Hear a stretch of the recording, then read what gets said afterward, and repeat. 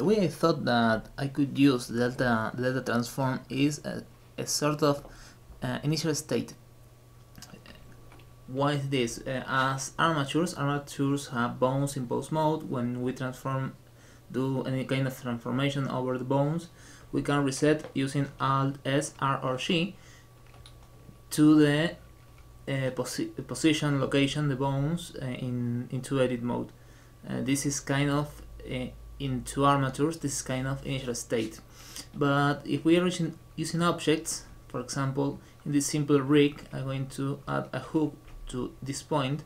I don't have that initial uh, state for, for the hook. We can see there maybe if there that there is a, a, little point with a line parented. This is the offset of the of the vertex.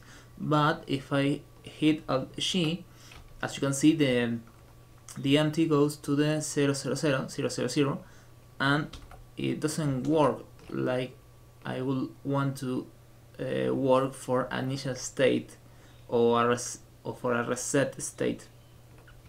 And there are ways to go around this with uh, parenting this object to another object in this position, maybe some constraint, but or script. But this this this is uh, a bit um, clumsy, so a bit annoying to do, a bit complicated. Uh, in this case, I'm going to use delta locations. I'm going to copy location, Control C, uh, Control C, Control V, hovering on the values, and of course we have the uh, rational offset uh, caused by the delta transformation by plus the normal transformation.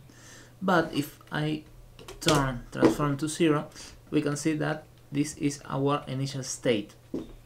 So I can transform this or translate this in any place and then turn to zero and the initial state is stored on the deltas. The only little things for this to be practical is that the our famous command to reset locations alt G also resets delta locations. That's why I start thinking about how can this be used? Or if there is any uh, operator to uh, say initial or set initial state or something because this kind of initial initializations initializations of freezing of the object in space it's uh, extremely extremely practical. Um, there are many many times where I want to set the initial state for this and, don't, and I don't want to set an entire armature with constraint to, to do a simple things and this kind of things is extremely useful but uh, the alt as I said resets also the location and it can be a bit annoying.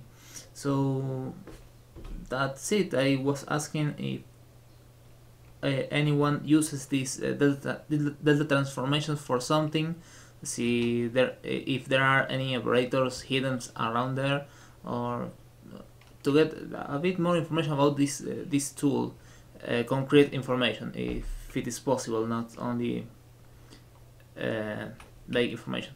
But okay this is my two cents in this subject. I hope to get some more information and I don't know happy blending.